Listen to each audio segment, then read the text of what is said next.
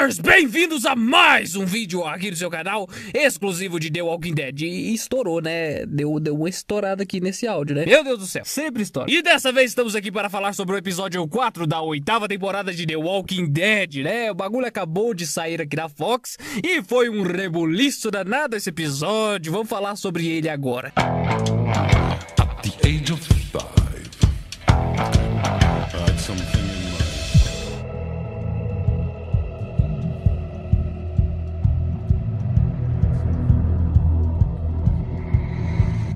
primeiramente eu já vou adiantar aqui que eu gostei pra caramba desse episódio aqui. Gostei pra caramba, induvidavelmente. É o primeiro ponto alto da temporada. Esse é o episódio que ninguém vai esquecer, com certeza. O fandom está quase 100% satisfeito com o episódio. As notas estão começando a surgir nos media trackers por aí. É com certeza 8 e tudo mais. Então o pessoal tá feliz com o que foi entregue neste episódio. E não é pra menos. O episódio foi sim um episódio muito bom. Foi sim, de longe, o melhor episódio da temporada até agora. Tão de longe que eu duvido muito que o próximo episódio seja melhor que esse, hein? Duvido muito. Mas é assim, foi um episódio que vai ficar na nossa memória pra sempre por causa de muitos acontecimentos aí e por eles terem sido bem executados. Vamos entrar aqui nos méritos, tá? O episódio foi todo focado em dois núcleos apenas, né? Sendo que o núcleo do Rick e do Daryl ficou bem em segundo plano mesmo, teve pouquíssimo tempo de tela e a gente focou mais nesse núcleo aqui com uma direção que, ó, meu Deus do céu, chama esse cara aí que dirigiu esse episódio pra dirigir outros episódios. O nego que dirigiu esse episódio nunca dirigiu um episódio de The Walking Dead, meus jovens. Esse é o primeiro trabalho dele aqui no Walking Dead e com certeza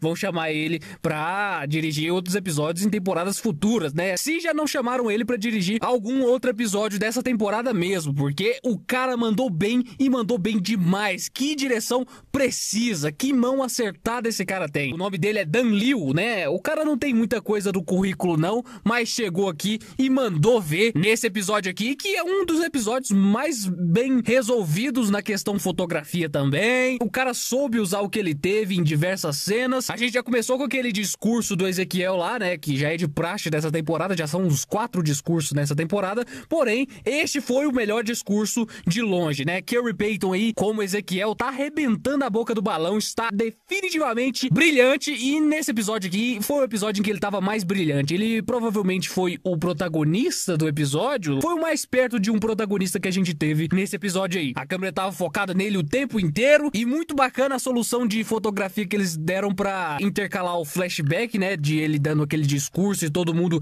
chegando perto dele, naquele abraço mútuo, a trilha sonora autona, aí do nada corta, a trilha sonora vai no zero, a câmera de cima faz a rima visual lá com todo mundo, em vez de estar tá num abraço bonito, tá todo mundo caído morto em volta dele, mano. Que foda, hein? Que foda, que rima visual bacana. E aí foi a hora do sofrimento, né? Mostrou ele com a perna ferrada lá, deu tempo de cena pra mostrar todo o sofrimento dele, de ver todo mundo ali morto e tal, aqueles buracos tremendo de tiro, né? Por causa do calibre gigantesco da arma, né? E ele indo pra cada um e olhando, e você vê o sofrimento do cara, alguns se levantando e virando zumbis, e ele tentando sair dali, porque tá todo mundo virando zumbi, mano. E aí chegou aquele salvador de óculos lá, né? Que rendeu ele pra levar ele lá pro Niga e tudo mais. Uma boa solução de conflito pro episódio, né? E o cara atuava muito bem, hein? O cara sabia fazer com que a gente odiasse ele com todas as forças. Petulante até a última gota, mano. Até meio caricato assim. Mas de caricatice a gente tá feito no Walking Dead, né? É cheio de, de coisa caricata no Walking Dead. E aí esse cara deu trabalho pro Ezequiel, né? Provocando o cara. Esse cara aí, na verdade, ele foi uma grande escada pro Ezequiel nessa nova trama dele, né? Que antes ele tinha todo o bagulho de fingir até as coisas darem certo. E agora ele tá nessa trama de eu não sou rei de porcaria nenhuma. Eu sou só um cara normal. Eu sou um fracasso, entendeu? Por causa de todo o peso na consciência disso tudo. E esse Salvador aí serviu para fixar isso ainda mais na cabeça dele, né? Porém, não durou muito, porque o Jerry chegou lá e esfatiou o cara bonito com aquele baixadão. Jerry aí chegando, né? Cada vez mais perto para se tornar um personagem importantíssimo do Walking Dead, porque a gente já se importa com esse cara aí, a gente já se importa com o Jerry. Personagem recente aí que a gente não quer ver morrer de jeito nenhum esse Jerry. Então, muito bem acerto vocês não terem matado o Jerry e terem é, focado bastante nele nesse episódio. Decisão acertada, meus jovens, decisão acertada. E aí depois ele, com todo aquele caráter, né? O cara é leal, né? Ele e aquela galera toda do reino, né? Porque os caras montaram em cima do Ezequiel só pra ele não morrer. Muito bonita a cena dele tentando salvar o Ezequiel, né? E tudo mais. E aí o machado quebra com ele tentando abrir o portão. E aí os dois ficam lá, um com um pedaço de pau e outro com a espada. Muito foda a cena de ele se preparando para lutar contra os zumbis, né?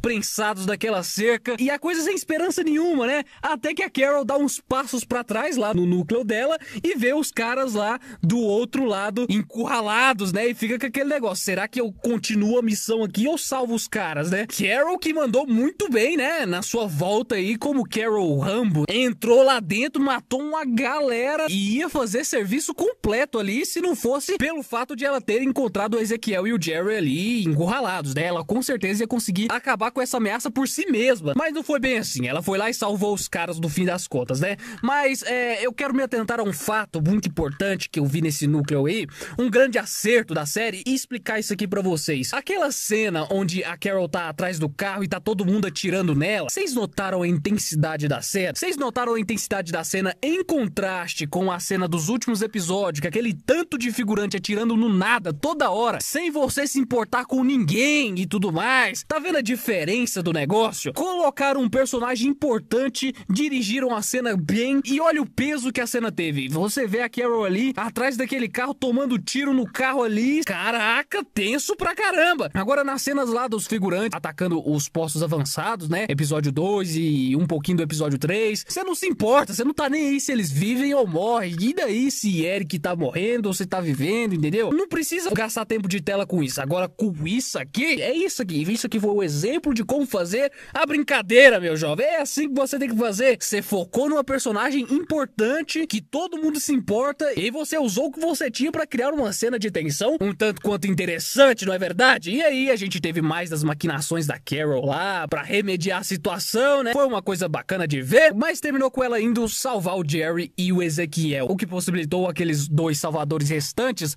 vazarem dali em direção ao santuário. Mas eles não contavam com o fato de que Daryl e Rick estavam na cola deles. E aí a gente tem o primeiro ponto altíssimo do episódio, né? Que é a perseguição, a, a tão esperada cena da perseguição que eu estava esperando muito para ver aqui. E meus amigos mandaram bem demais dessa cena aqui. Mandaram bem demais nessa cena. Foi exatamente o que eu esperava. Uma das cenas de ação mais legais da temporada de longe, assim. Muito pelo fato da direção de fotografia da cena que é linda, né? Takes extremamente precisos, né? E irados também no carro. Aquela cena em que a câmera tá presa no capô do carro do Rick mostrando na estrada. É puro videogame aquilo lá, mano. E eles não enrolaram muito na cena, né? Foi um tempo preciso, não enrolaram demais. Desenvolveram a cena bem rápido e ela foi intensa do início ao fim. Num nível de intensidade assim que eu estava necessitando de ver no Walking Dead, né? Foi uma cena que ninguém vai esquecer. Foi, foi interessante demais. Todas as soluções. Eu, inclusive, acho que ali, naquela cena, eles, eles chamaram algum veterano de filme de perseguição, sabe? Para dar um toque de Midas ali naquela cena, porque ela tá muito eficaz ali, sabe? Tá nos trinques. Passa realmente aquela sensação de que, tipo, se eu deixar esse cara escapar, ele vai chegar lá e acabou nosso plano de ilhar os salvadores lá no santuário, mano. E outra, você coloca dois protagonistas, né? Rick e Daryl na cena, já balancia bastante as coisas, né? Mas é isso. Eles provavelmente chamaram algum guru das perseguições cinematográficas pra dirigir a fotografia dessa cena aí, ou então se espelharam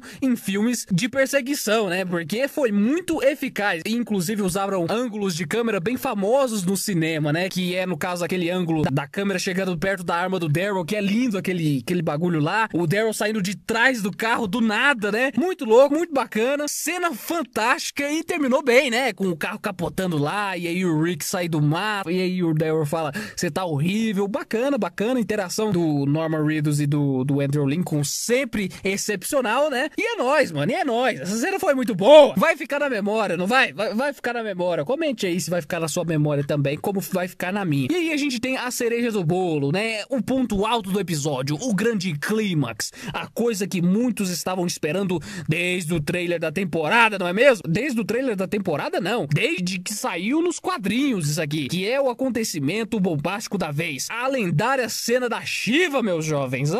Ai, ai, ai. Os caras custam usar os efeitos, né? Mas quando usam, usam pontualmente, mano. Usam pontualmente. Eles capricham mesmo. Quando é pra usar, os caras mandam ver. Porque aquela Shiva estava impecável. Não, não tinha como ficar melhor aquela Shiva ali. Do final, né? Apareceu lá dando umas cambalhotas no zumbi, jogando zumbi pro alto. Toda a carga emocional que nós precisávamos, não é verdade? E ô tristeza, mano. Mataram a tigresa mesmo, mano. Mataram e foi de apertar o coração. Mas foi de apertar o coração mesmo, mano. Aquele ruído que eles conseguiram fazer da tigresa sofrendo, sabe? Em prantos, agonizando lá, mano. Foi de cortar o coração, mano. Uma coisa é você fazer pessoas sofrer, outra coisa é você fazer animais digitais sofrer. E aí, aí pisa no calo. Aí é pesado, hein? Aí, aí não dá. Aí é sacanagem, meu amigo. Arrepiei, foi tudo, mano. Eu arrepiei até o ambiente em volta de mim. Porque, mano, foi intenso. Foi assim, triste pra caramba. A cena é toda bem feita, do início ao fim. Desde quando eles chegam lá naquele esgoto lá, né? A esgoto a céu aberto, onde eles têm que atravessar e o Ezequiel está fudido ali, né? E dá um trabalhão para eles atravessar. Ambientação show pra caramba. Agora a gente sabe da onde vem aquele tubo de esgoto lá da abertura, né? Que tem o novo take da abertura, que é um tubo de esgoto lá. Agora a gente sabe da onde é isso. E aí o Ezequiel fala: Eu não sou seu rei e tal, falando para eles deixarem o Ezequiel ali, que ele não vai conseguir subir a tempo por causa dos zumbis e tudo mais, que estão chegando, e ele está com a perna fodida. E aí, eis que chega a tigresa dando mortal para todo lado. E aí a gente tem o grande ápice aí, provavelmente o grande ápice da temporada até agora, né? Foi pesado, foi pesado, foi digno, uma adaptação digna da cena que tem nos quadrinhos, né? Eu só senti falta de uma coisinha. A cena tá perfeita do jeito que tá. Mas se eu fosse o diretor naquele momento, eu focaria um pouquinho mais no sofrimento da cena, sabe? Eu estenderia essa cena um pouquinho mais, nada demais, alguns segundos a mais, com alguns takes a mais, e seria um pouquinho mais grotesco, sabe? Para entregar mais essa violência aí, para entregar mais o peso que essa cena é, entendeu? Eu focaria um pouquinho mais nesse sofrimento. Eu não faria ser tão rápido como foi. Tá bom do jeito que tá? Tá ótimo do jeito que tá. Eu não estou botando defeitos de maneira nenhuma, mas se eu fosse o diretor, eu faria isso. Eu estenderia ela um pouquinho mais, sabe? E vale a pena, vale a pena, né? Foi uma cena memorável, seria ainda mais memorável se tivesse feito eu chorar, por exemplo. Eu não consegui ter esse mérito, mas recebi algumas fotos das pessoas se acabando das lágrimas aí, hein? A verdade é essa, comoveu a internet, né? Maus trato com os animais digitais, né? Uma coisa assim complicada. E aí foi mais outra grande escada pro desenvolvimento do Ezequiel, né? Porque agora ele não é mais o rei Ezequiel, ele agora é só um cara. Como diz no nome do episódio, ele é algum cara aí, né? Some guy. Ele não é mais o grande rei Ezequiel pomposo que faz um discurso a cada dois segundos de tela. Ele é só mais um cara. E aí vai ser interessante ver esse desenvolvimento dele aí, né? Quero muito ver o que, que será de Ezequiel agora, sem a pompa toda de, de rei que ele tinha. Bom que o personagem continue crescendo assim e bom que essa guerra esteja tomando este rumo agora, meu jovem, porque nos quadrinhos, depois que termina essa cena aí, esse impasse dos postos avançados aí, que agora a gente fechou o primeiro ato de vez, né? Quando termina esse bagulho aí, é que a guerra começa mesmo. Agora que a guerra vai começar mesmo. Não sei quanto ao que vai ser na série, né? Mas agora é a hora de desenrolar o, o lado do Negan lá no, no santuário aí.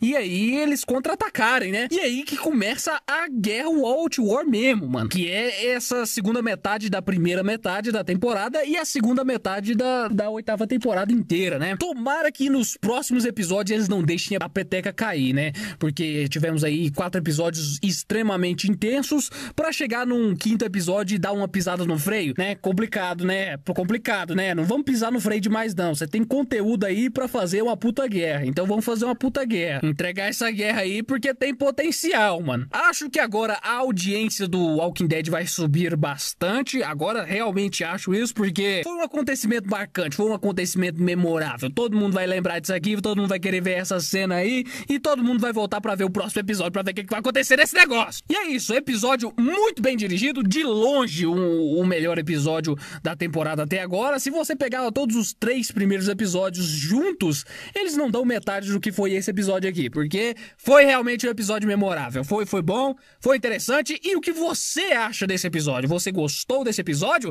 Deixa aí nos comentários a sua opinião acerca dele, né? Bem como o seu like também para ajudar esse canal a crescer e espalhar esse vídeo pro mundo e pra gente ser feliz aí, né? Na administração desse canal maravilhoso, né? Ativa o sino das notificações, porque vai ter análise do teaser do próximo episódio aí nos próximos dias e ocasionalmente notícias, né? Especulações pros próximos episódios. E é nóis, mano! É, aí é, nóis, mano! É nóis! É, eu estou feliz com o Walking Dead porque ele se provou ser fodão. Antes de terminar aquele merchan básico, né? Agora faltam 14 dias para os viajantes, meu jovem. 14 14, tá chegando muito perto a minha série. Eu estou gostando muito que vocês estão abraçando o projeto de vez agora que o hype tá subindo. E é isso, galera. Eu, eu sou muito grato a vocês estarem apoiando esse projeto. Chamo todos vocês, eu tenho quase 100 mil inscritos nesse canal aqui, não é nem metade do que foi para lá. Chamo todos vocês a conhecerem a série. Vai estar tá rolando agora um teaser aí para que você se sinta investido a pesquisar um pouco mais sobre isso. Entre no grupo fechado da série, né? Onde temos todo o papo de bastidores lá, todo mundo posta suas teorias acerca dessa série aí que tá chegando. E eu peço também encarecidamente que você dê a forcinha, né? Dê a chance para essa série, sabe? Dê a chance. Quando chegar a estreia, assiste lá no dia da estreia pra, dar, aquela, dar aquela chance, de na moral mesmo. Se, se você não gostar, não precisa nem voltar a assistir. Mas quando estrear, eu peço, eu estou pedindo, dê aquela chance para os viajantes que ele não vai te decepcionar, entendeu? Dê pelo menos aquela chance de eu te cativar com essa série, cara, porque tá sendo feito de coração mesmo. Sério mesmo, eu tô fazendo com a minha alma essa série. Eu fico o dia inteiro editando esse negócio porque eu quero contar essa história a todos vocês e ao Brasil inteiro, sabe? Então é, é realmente um sonho. Solta aí o teaser aí, links na descrição, links nos cards, links nas telas finais, é, tá tudo aí. Conto com vocês, meus inscritos. Obrigado por tudo. Até a próxima, pessoal, e falou! É, temos uma tarefa muito importante. Acho que eles querem fazer contato. Viajantes extraterrestres. Sim, são eles. Vamos continuar seguindo ao leste, como a bússola diz.